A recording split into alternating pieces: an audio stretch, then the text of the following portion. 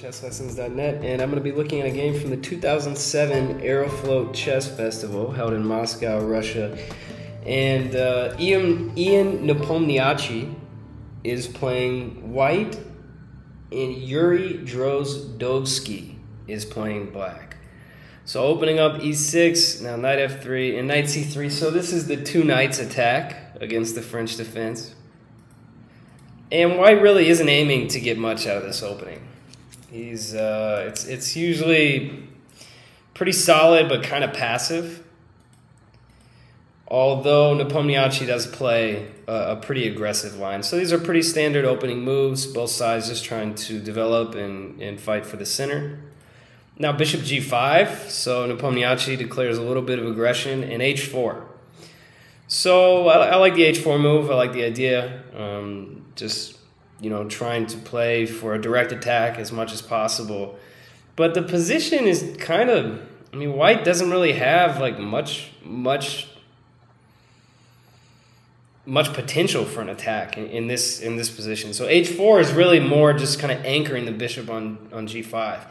And now a very accurate move from Drozdovskij. He plays queen a5 check. So first, he's getting out of the pin. That's no longer a problem. Second of all, he's he's eyeing the a2 pawn. So if white's played h4, he doesn't want to castle kingside. And now by the queen eyeing a2, it's going to be difficult for white to castle queenside. So queen a5, very good move. Now knight g4, another very good move. Um, knight d5 was possible, although I didn't like it. I, I didn't like it as much. Um, knight g4 because after knight d4, now e5.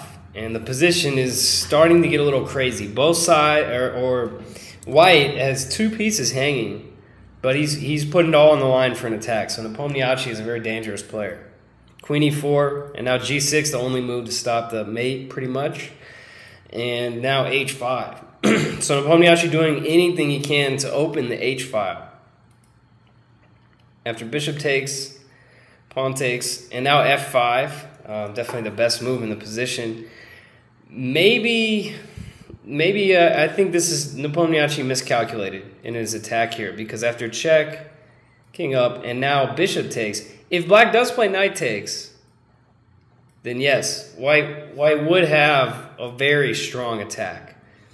I don't know if it's winning, but it's it's certainly very strong.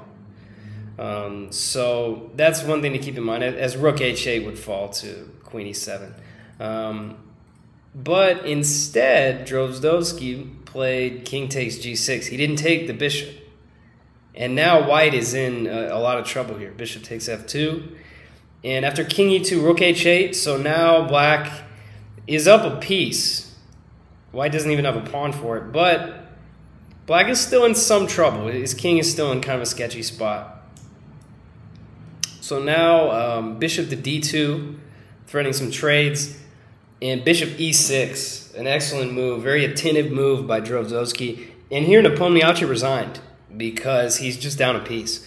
I mean, you could see maybe um, bishop takes e6, queen a6 was the idea.